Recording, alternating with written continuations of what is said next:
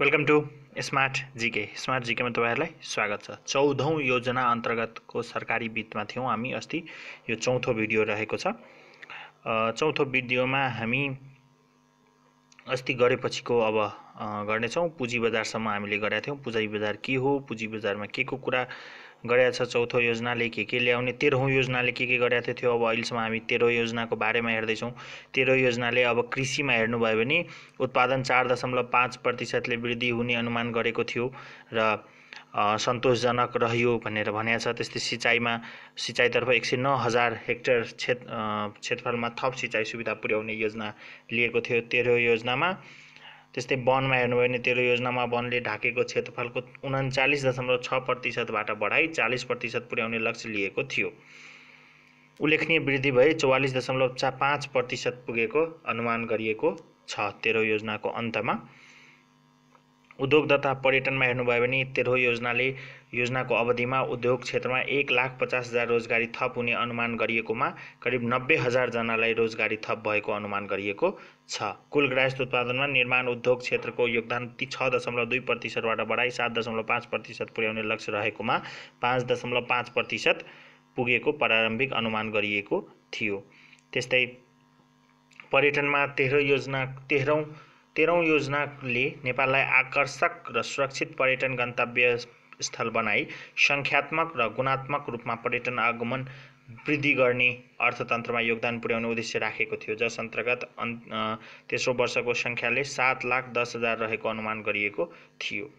सामाजिक सेवामा तेह्रौँ तेह्रौँ योजनालाई भर्ना दरतर्फ प्राथमिक तह एकदेखि पाँचको कुल को खुद भर्ना दर पन्चानब्बे दशमलव तिन प्रतिशत पुर्याउने लक्ष्य राखेकोमा बहत्तरीको अन्तसम्ममा छयानब्बे दशमलव छ प्रतिशत पुगेको थियो र पन्ध्रदेखि चौबिस वर्षको उमेरको साक्षरता दर सतासी दशमलव पाँच प्रतिशतबाट पन्चानब्बे प्रतिशत पुर्याउने लक्ष्य रहेकोमा अठासी दशमलव छ प्रतिशत पुगेको थियो। त्यस्तै स्वस्थ स्वास्थ्य क्षेत्रमा तेह्रौँ योजनाको निशुल्क आधारभूत स्वास्थ्य सेवामा पहुँच विस्तार गरी गुणस्तर सेवा उपलब्ध गराई उत्पादनशील र स्तरीय जीवनयापनको वातावरण तयार गर्ने उद्देश्य राखेको थियो।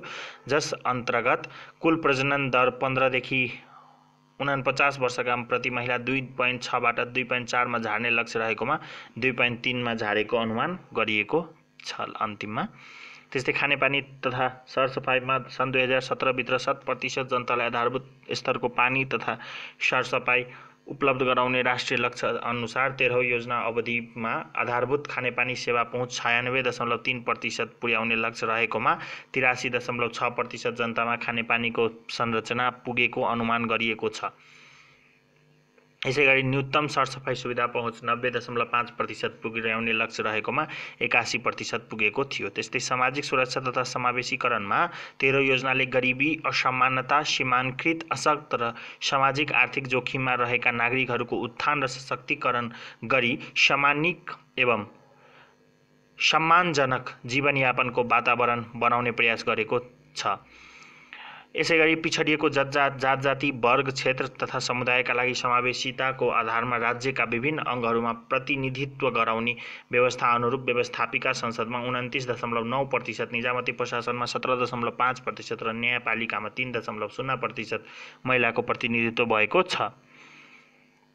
त्यस्तै पूर्वाधार विकासमा हेर्नु भने ऊर्जाले ऊर्जामा तेह्रौँ योजनाको अन्त्यसम्ममा विद्युतको पहुँच हुने जनसङ्ख्या सतासी प्रतिशत पुर्याउने लक्ष्य रहेकोमा चौहत्तरी प्रतिशत पुर्याइएको थियो। चौहत्तरी प्रतिशत प्रतिशतमा त्यस्तै यातायात र संरचनामा चालु योजनाको प्रथम दुई वर्षमा रणनीति र क्षेत्रीय स्तरका सडक निर्माण पच्चिस हजार दुई सय पैँसठी किलोमिटरबाट वृद्धि भई उन्तिस दशम उन्तिस हजार शून्य एकतिस उन्तिस हजार एकतिस किलोमिटर पुलको सङ्ख्या एक छ जेरो नौ एक हजार छ सय नौबाट थप भई एक हजार नौ सय बाहन्न पुगेको छ।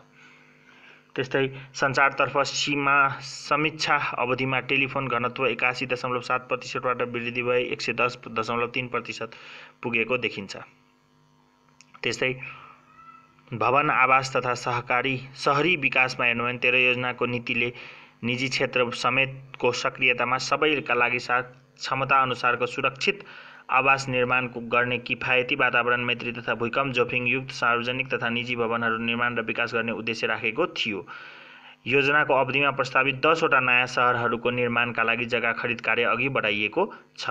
त्यस्तै अन्तर सम्बन्धित क्षेत्रहरू हेर्नुभयो भने श्रम तथा रोजगारीमा तेह्र योजना अवधिभरमा राष्ट्रिय रोजगार नीति कार्यान्वयनमा आएको छ भने रोजगारी प्रत्याभूति कानुनको मस्यौदा तयार गरिएको छ। अठारवटा जिल्लामा रोजगार सूचना तथा परामर्श केन्द्र मार्फत बेरोजगारहरूको लागत तथा रिक्त पदको अभिलेख अद्यावधि गराइएको छ। वातावरण तथा जलवायु परिवर्तन भने तेस्रो योजनाले तेह्रौँ योजनाले न तेस्रो तेह्रौँ योजनाले वातावरणीय प्रभाव तथा जलवायु परिवर्तनको असर न्यूनीकरणको लागि हरित विकासको अवधारणा ल्याएकोमा वनले ढाकेको क्षेत्रको विस्तारसँग यो अवधारणा पनि कार्यान्वयन हुँदै गएको पाइएको छ। त्यस्तै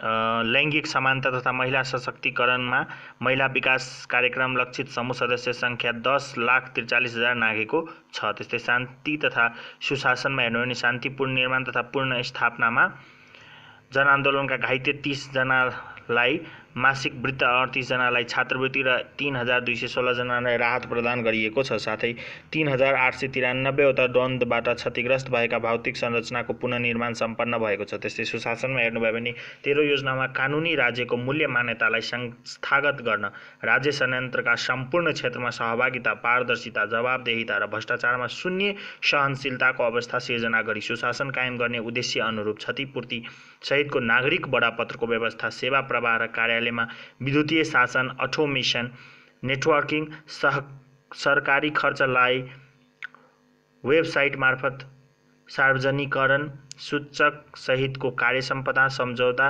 जस्ता प्रावधानहरूको प्रारम्भ गरिएको छ। निजामती सेवा ऐन र नियमावलीलाई सामयिक बनाउने संशोधन गरिएको छ। कानुन निशासनको अनिवार्य शर्तको रूपमा स्वतन्त्र र सक्षम न्यायपालिका प्रणालीको व्यवस्था गर्ने विद्यमान कानुनको सुधार र परिमार्जनको लागि अध्ययन अनुसन्धान भइरहेको छ। देवानी तथा फौजदारी कानुनको संहिता विधेयक पेश भएको छ। अमान नागरिकहरूको न्यायमा सम्मान र सहज पहुँचको लागि संस्थागत कानुनी र प्रक्रियागत सुधार गरिएको छ। बाल न्याय प्रणालीमा सुधार तथा महिला संवेदनशील मुद्दा शीघ्र न्याय प्रदान गर्ने प्रयास भएका छन्। भ्रष्टाचारको अनुसन्धानका लागि अख्तियार दुरुपयोग अनुसन्धान आयोगमा उजुरी व्यवस्थापन प्रक्रियामा सुधार तथा संरचना प्रविधि विकास गरिएको छ। संस्थागत क्षमता विस्तार गर्ने आयोगका क्षेत्रीय तथा सम्पर्क कार्यालयहरू खोलिएका छन्। अब तेह्र योजनामा गरिबी रोजगारी र मानव विकासलाई भने विगत दुई दशकदेखि विभिन्न अवधि आवधिक विकास योजनाहरूले गरिबी न्यूनीकरणलाई नै प्रमुख उद्देश्य दिएकोमा तेह्रौँ योजनाले नि हाल यही लाई निरन्तरता दिएको छ। तेह्र तेह्रौँ योजनाले पनि त्यस्तै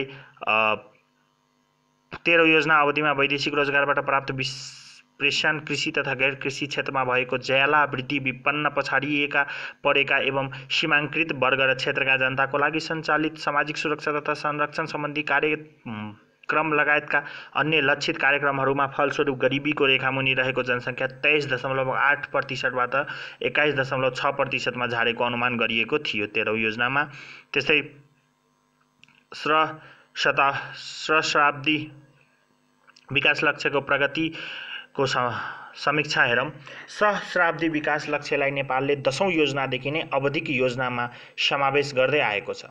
सो अनुसार सामाजिक विकासका क्षेत्रमा उल्लेख्य साधन विनियोजन आवश्यकताको पहिचान र चारपटक प्रतिवेदन तयार गरी प्रगतिको समीक्षा र सम्प्रेषण गरिएको छ। अत दस वर्षे आन्तरिक द्वन्द्व र त्यसपछिको सङ्क्रमणकालका बावजुद अधिकांश सहस्राब्दी विकास लक्ष्यहरू हासिल भएका छन्। लक्ष्य एक अनुसारको गरिबी न्यूनीकरणमा उल्लेखनीय प्रगति हासिल भएको छ। सन् उन्नाइस सय पन्चानब्बेमा बयालिस प्रतिशत जनसङ्ख्या गरिबीको रेखामुनि रहेकोमा सन् दुई हजार सोह्रमा एक्काइस दशमलव छ प्रतिशतमा झरेको छ। यसरी हेर्दा नेपालले गरिबीलाई आधा घटाउने लक्ष्य हासिल गरेको छ। त्यस्तो त्यसो भए तापनि क्षेत्रीय हिसाबले सुदूरपश्चिमाञ्चलमा तथा कर्णाली क्षेत्र र दलित एवं पिछडिएका जनजाति समूहलाई तथा सहरी क्षेत्रको तुलनामा ग्रामीण क्षेत्रमा गरिबीको अवस्था दयनीय छ। त्यस्तै लक्ष्य दुई अनुसार प्राथमिक तहमा खुद भर्ना दर छयानब्बे दशमलव छ प्रतिशत पन्ध्रदेखि चौबिस वर्षको उमेर समूहको साक्षरता दर अठासी दशमलव छ प्रतिशत र प्राथमिक तहमा टिकाउ दर छयासी दशमलव आठ प्रतिशत पुगेको छ भने लैङ्गिक समता सूचक समाधान समदरमा पुगेको स्थिति देखिएको छ। त्यस्तै लक्ष्य तिन अनुसार प्राथमिक र माध्यमिक विद्यालय तहमा लैङ्गिक समता दर क्रमशः शून्य दशमलव नौ प्रतिशत र एक प्रतिशत पुगेको छ। त्यसै गरी एक पन्ध्र पन्ध्रदेखि चौबिस वर्ष उमेर समूहका महिला तथा पुरुषहरू बिच साक्षरता दरको अन्तर कम भएको छ। त्यस्तै निजामती सेवामा महिलाको उपस्थिति एक दशक अघिको तुलनामा दोब्बर पुगेको छ र व्यवस्थापिका संसदमा महिलाको उपस्थिति करिब एक तृतीयांश पुगेकोले लैङ्गिक समानता सम्बन्धी यो लक्ष्य हासिल भएको देखिन्छ। लक्ष्य चार अनुसार विभिन्न सूचाङ्कहरूमा उल्लेखनीय उपलब्धि हासिल भएको छ। बाल मृत्युदर शिशु मृत्युदर र धातुरा विरुद्धको खोप गरी तिनवटै सूचकहरू उल्लेखनीय प्रगति भएको छ। त्यस्तै लक्ष्य छमा एचआइभी क्षयरोग र औलो रोग सहहरू सम्बन्धी सूचकहरू रहेका थिए। जसअनुसार लक्ष्य बमोजिम पन्ध्रदेखि उनापचास वर्षको उमेर समूहमा महिला तथा पुरुषमा एचआइभी संस्करण दर दुई हजारमा शून्य दशमलव दुई नौ प्रतिशत रहेकोमा दुई हजार पन्ध्रमा शून्य दशमलव शून्य तिन प्रतिशत मात्र रहेको थियो। यो पनि हासिल गरिएको देखिन्छ त्यस्तै लक्ष्य सातमा रहेको दिगो विकास सम्बन्धी लक्ष्य हासिल गर्नका लागि वातावरणीय स्रोत साधनहरूको क्षय हुन नदिन नीति तथा कार्यक्रम कार्यान्वयन गरिएको देखिन्छ। त्यस्तै समग्र सहशताब्दी सहस्राब्दी विकास लक्ष्य हासिल सम्बन्धी प्रगति उत्साहजनक रहेको छ। अब आउने भिडियोमा परिच्छेद दुई अब चौधौँ योजनाको बल्ल पृष्ठभूमि अहिलेसम्म हामीले जुन गऱ्यौँ त्यो तेह्रौँ योजनाको थियो। किन चौध योजना पढ्नुभन्दा हामीले एक स्टेप पहिलाको योजनाको बारेमा पनि थाहा हुनुपर्दछ के के विकास। अब चौध योजनाले के के लिएको छ लक्ष्य र उसको बारेमा हामी सबै आउँदो भिडियोमा गर्ने नै छौँ। तपाईँ लाइक सब्सक्राइब कमेन्ट र सजेस्ट गर्न नभुल्नुहोला। धन्यवाद।